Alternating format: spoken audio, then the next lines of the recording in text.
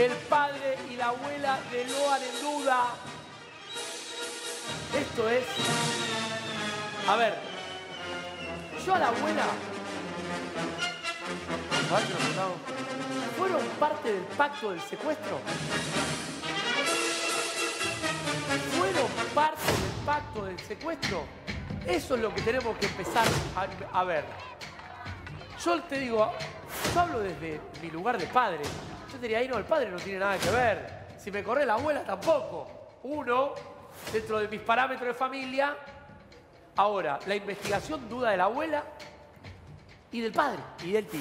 No, nos Y el tío, pero el tío ya está detenido. Está detenido. Ya está de- Hoy me no dijo- de la madre. La madre sacala de todo. Hoy me dijeron una frase terrible del tío. Es un peón rural que por 300 dólares hace cualquier cosa. Sí, Rochi, te escucho. Hay un audio, hay varios audios a El lo largo de esta es semana. inteligencia artificial. ¿eh? Sí, ya No, Eh, no, es una sí, bola. no, no, me estoy Ojo refiriendo con a los eso, porque audios. eh, pero quiero decirle esto, porque hoy me escribió mucha gente con el audio. Chicos, de- eh, desde, que, desde que se creó la inteligencia inteligencia artificial y puede sacar cualquier voz, Es duden de, peligroso. duden de todo. Si no lo grabaste vos el audio, duda.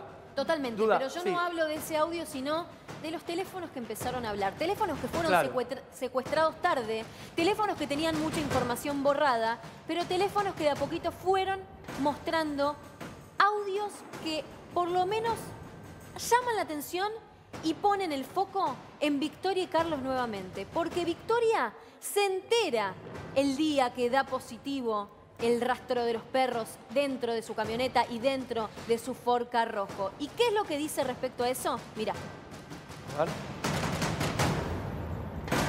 vamos último con plata, momento, dale. último momento, último momento, atención.